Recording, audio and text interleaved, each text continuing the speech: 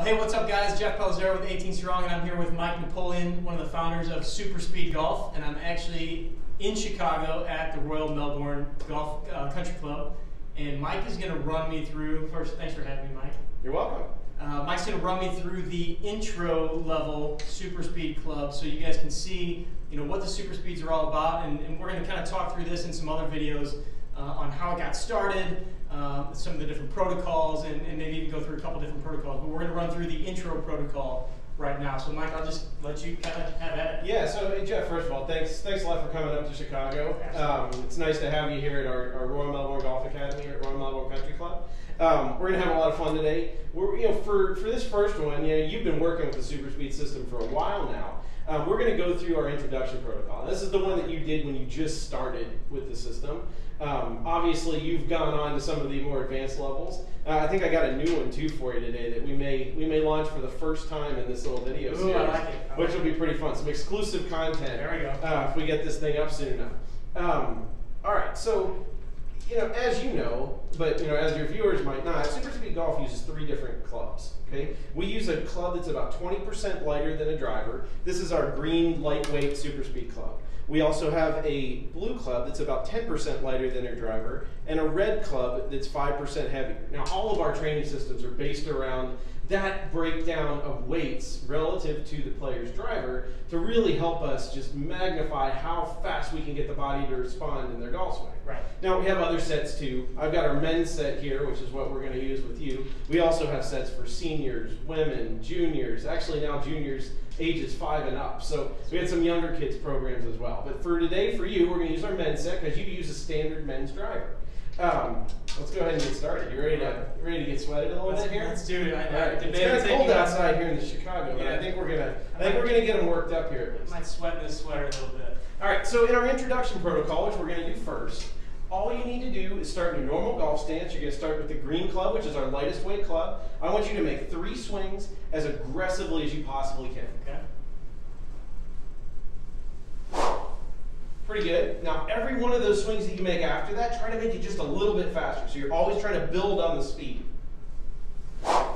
Good. And you can hear on the video that whoosh sound the club makes. This is a really good way to get feedback on how fast you're swinging. The faster you swing, the higher pitch that's going to be. You know, we also use a lot of different measuring devices. Our little swing speed radars we use a lot are a lot of fun too because they can actually measure exactly how fast that club's going. Right. Okay, so next, now I want you to do the same thing, but I'm going to have you turn around and do it left-handed. Okay. Okay, and we're going to always swing toward the uh, toward the net. So I'm going to move out of the way here a little bit. So yeah, that's good advice. Good advice. Now Jeff's been doing this for a while, so you'll notice actually that his are sounding almost the same speed, which is really good, and you'll see that after a few months of working with the system. When you start out with this right away, there's a really good chance that it may not be that way for you. Your, your non-dominant side swings might be significantly slower. Yeah, usually yeah. quite a bit awkward the first time you do it. Um, I know for me it was, but with clients that, that I've used it with, for sure, they, they definitely have trouble with the, with the left-handed or off-handed swings. Yeah, and that's why we start with this introduction protocol that's pretty you know, easy to get started with. And then we get into a lot more advanced stuff on the non-dominant side as we move through the protocols. All right, next step, we're going to go to our blue training club. So this is going to be about 10% lighter than Jeff's driver. And we're going to do the same thing. I want those three swings. Let's just make them as fast as you can. Let's try to max it out here. I think he's being a little timid on camera here. I really want to see uh, see full speed. I don't want to break any of this equipment here. Oh, we got plenty of room. The swings look extremely, extremely good, actually. I'm, I'm pretty impressed here. All right, let's turn around to a lefty now. Now, if you're a left-handed player, when you start with this, you would actually start left-handed and then move to right-handed. So it's always your dominant side first, and then your non-dominant side. All right, good. Awesome, Jeff. Now we're to move to the red club.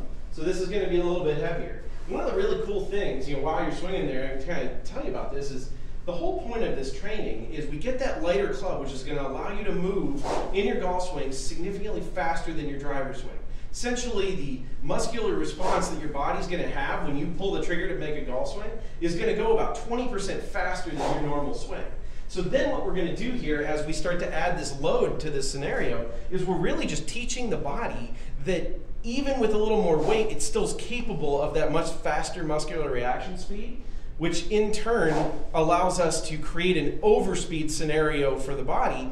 And after you know some weeks of practice with this, we can make that the new normal for your golf swing. All right, now Getting a little Getting tired here, Jeff? Getting All right, so now we're going to go to our step change of direction swing. Okay. So in this drill, I think it's it's key to look at too. As you make this swing, um, you're going to basically start in your normal stance. You're going to move this foot back, your lead foot back toward your trail foot. Now from there, I actually even like to let this. This is kind of some new content too. This isn't in our other training videos. But, um, you know, I like to let the client swing the club forward a little bit sometimes. So there's a little bit forward that way, then back, step, plant, and swing. Okay. Okay, so you can go ahead and get that. I, you might not have done that before, but I think a little bit of that extra kick forward can really help you increase the ground force, increase the speed that you're going to be going through with this with this movement. All right, really good. And you, you notice as Jeff's doing that too. You know, he's he's doing a great job of leading with the lower body, creating you know that good step forward through this movement. And you can even hear the speeds of those clubs are going up a little faster, I think, than what you did when you were uh, swinging just in your normal golf stance. And that's typical for what we see. Very good. So we're going to do two more here now on the left-handed side. Come on, don't let it slow down. I think he's trying to wimp out on us a little bit here. Come on, get after it. All right, we're gonna go back to our blue club now. It's 10% lighter. So the goal here when you move up in weight is you need to try to make these swings just as fast as what you did on your dominant side, or I mean with the heavier weight club. And what we've seen in a lot of the studies that we've done now is typically, you know, if, if a player's swinging around 100 miles an hour to start, when they pick up the green club, they're going to be able to swing that somewhere around 118 to 120 miles an hour. Now, during these training protocols, we've seen that most players can then get to the blue club and they can still swing that blue club in the 115 to 118 range, so pretty fast, significantly faster than their normal golf swing. And then getting to the red club, which is actually 5% heavier than their driver, we still see that player swinging around 112, you know, about 12% faster than their actual golf swing. That, that's what I talk about when I'm talking about an overspeed scenario for your movement. Um, and then when we get back to your driver and actually re-implement the skill element of hitting a golf ball, what we're going to see there is usually about a 5 to 8% increase in swing speed right off the bat, and that becoming a new permanent change for your golf swing in about 4 to 8 weeks of regular practice. I think Jeff's almost done. Let's check in and see if he's out of breath yet. All right, good. How you doing? Right, right, there's one more. There's one more though. You Finish always finish with the light. Yeah, so every protocol, you're always going to finish with just a couple swings on the light. In the intro protocol, we like three swings, normal golf stance. And what I want to ask you to do in these swings is I want these to be the fastest golf swings you've ever made in your life. So if you've got a radar in front of you here, this is max out time. This is try time to really let it rip. Good, that was pretty good. I don't think it was the fastest ever though. That was definitely a little bit better. Come on, this last one's gonna be the best. All right, I think that probably was too. Good job. All right, good stuff. Awesome. Thank you, sir. I know everybody watching is probably hearing me out of breath a little bit, but this is just a great intro. They've got several other levels that uh, I don't know if I have enough energy in me to do the rest of them here, but um, to advance to. So again, everything that we've done here is just kind of the introductory. The, then you work your way up, and I personally have seen tons of great results, not just with my own swing, but with clients that I've worked with all ages, really. I mean, from juniors, high school players, up to my senior golfers, 70s and, and up. Yeah, and I think one of the fun things too that you see on this is it doesn't take that long. No. Like that, I mean, that we, I guess we can time it on the video here, but that protocol we typically find takes players between about six and ten minutes when they do the intro protocol, depending on how fast they get through it. Um, and it is tiring. It, it is a little bit of a winding experience, Well, that's that's good. Um, you know, and we only need you to do that three times a week. So Right. we actually find we found in a, our most recent study that if we do more than three times a week, we don't see any additional increase in speed. So you know, we're looking for three times a week with a day off in between. So I mean, that's less than a half hour of investment of time for a whole lot of gain in swing speed. Yeah, that's, that's a huge point. And then the other question that I would have for you is when's the most optimal time to do it? Days off from workouts, days off from playing, before a workout, after a workout?